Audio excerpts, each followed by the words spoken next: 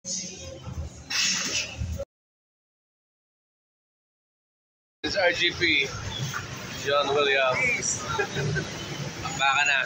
So, dito kami ngayon sa, ano, ano, Amang Rodriguez ba to? Santo, Santolan. So, papunta kami sa, ano, papunta kami ngayon sa Scientist Gym para mag-ensayo ng, ano, alam na, MMA. Sino pa yung mabasag ng mukha mo, sir? Hindi ko kilala. so, tara, let's go. Hanapin natin si Coach. ah, Coach John Lloyd. Tara, let's go. Hanapin natin si Coach. Ayan. Alam ko ba, sir? Ha? Nandito tayo ngayon sa AD AD building, tama ba? Ayun, biglang nagsarado yung ayun, tara tara, habulin natin yung ano. Habulin natin yung elevator. Alright, sa elevator kami, fifth floor. Uy, open, open, open. Tao po. ga, ga. Sige po, sige po, naka-hold po. Alright, fifth floor. Kayo po, sir. Alright. Sir? Anong floor? sixth floor ata yan. Fifth floor. Ah, fifth Hindi, Opo, sa gym. fifth floor. Last floor, gym po ba? Ah. Fifth floor po. Fifth floor po. Ay, sa gym din pala sila, sila tatay. ah. Doon din po kami sa gym. Oo. Magpapawis kami. So, eto. Dito na natin makikita kung gaano kalakas yung aming stamina. Tara, Let's go. So, dito na kami ngayon. Ito yung Scientist Gym. Ito na.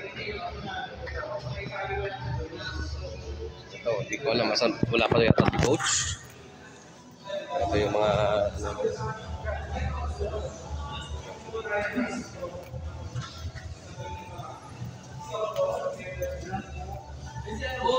ano, ito yung mga tinuturuan. Kaway, kaway, kaway muna mga tropa. Ito yung mga batang fighter natin. Ito yung mga batang fighter ng scientist. Ah, diba? Wala pa, wala pa si coach. Wala pa. Alright. Tuloy natin ito mamaya. Pagkatito na.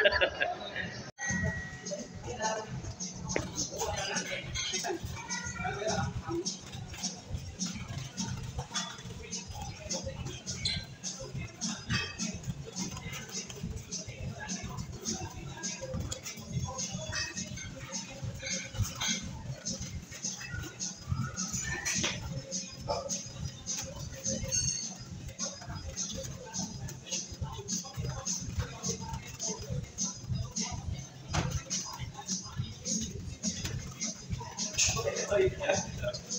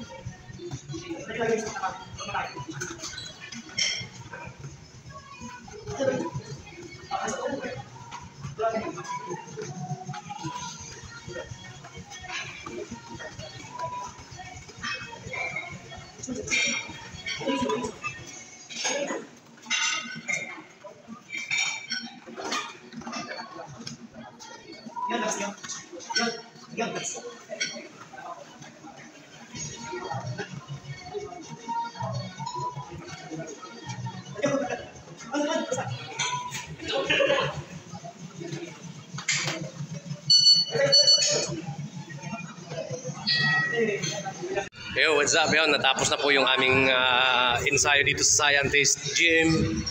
Alright, ayun po sila coach ang ah, coach John Lloyd. Yan, kasama ko yung aking anak at kasama ko yung aking tropa, bodyguard din, June Williams. ko si... Alright. Ito yung mga eh, ito yung mga magic na nagtuturo sa akin. Ito si Coach John Lloyd. ah, Hello po, kamusta? vlog po. Hello vlog! Ito po yung mga, mga, mga matsatsagang nagtuturo sa akin. Yan. Dahil sa darating na October may laban tayo. Ikasan nyo na yan. Sa! Kasal nyo na yan! Alright. October, kita kits. Di ba? Let's go, bakbaka na.